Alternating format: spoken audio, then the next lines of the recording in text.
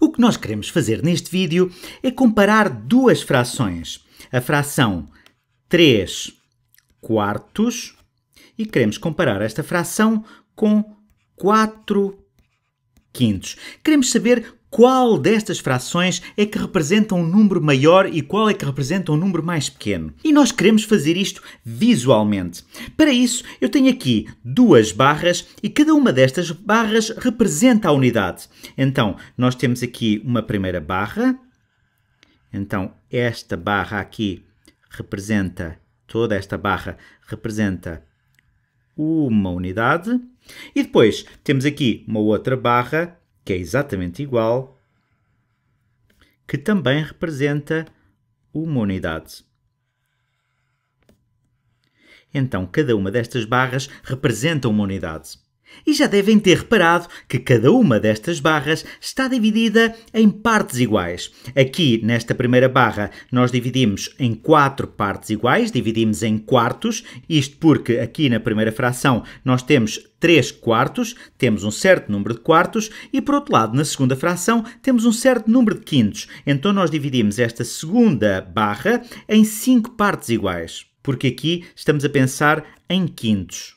Então, nesta segunda barra, nós dividimos a barra em 5 partes iguais, porque estamos a pensar em quintos, e na primeira dividimos em 4 partes iguais, porque estamos a pensar em quartos.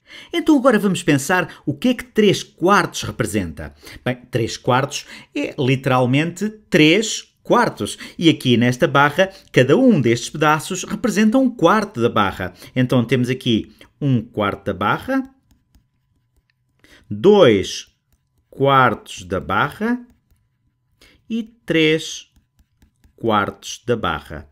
3 quartos desta barra é esta parte aqui sombreado.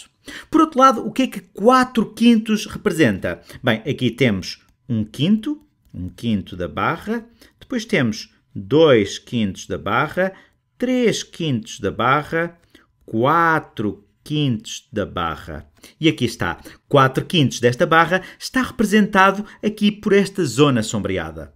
Então o que é que nós fizemos? Nós tínhamos aqui uma fração e representámos uma parte da unidade aqui assombreado para cada uma destas frações. Reparem que este retângulo inicial era igual, portanto nós estamos a considerar partes da mesma unidade. Isto não faria sentido se nós considerássemos aqui barras de tamanhos diferentes, ou seja, se considerássemos a unidade como sendo diferente nesta situação e nesta situação.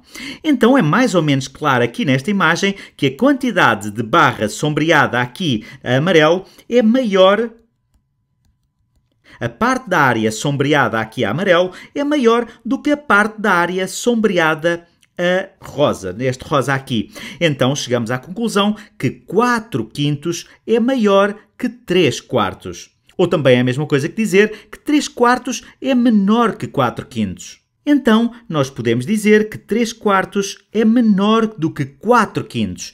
E representamos isso por este símbolo, o símbolo de menor do que. Então, este símbolo indica que 3 quartos é menor que 4 quintos. Ou então que 4 quintos é maior do que 3 quartos. A regra é sempre que este sinal, a parte mais aberta, digamos a parte com maior abertura, está sempre virada para o número maior. Reparem esta parte mais fechada, digamos onde as, estas dois, estes dois segmentos se juntam, digamos que aqui não há abertura, está virada aqui para o número mais pequeno. Então, 3 quartos é menor do que 4 quintos.